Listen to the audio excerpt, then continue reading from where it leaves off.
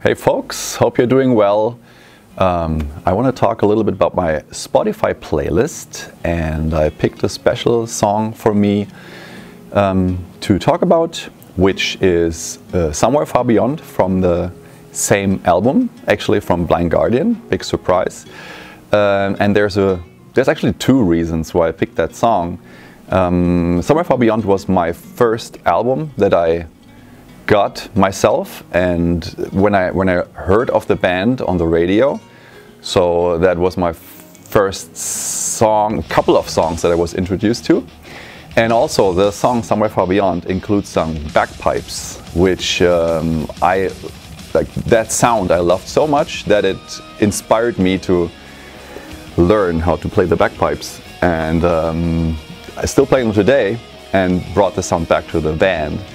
So that definitely inspired my life and yeah, made it richer and um, increased my horizon of playing music and making music.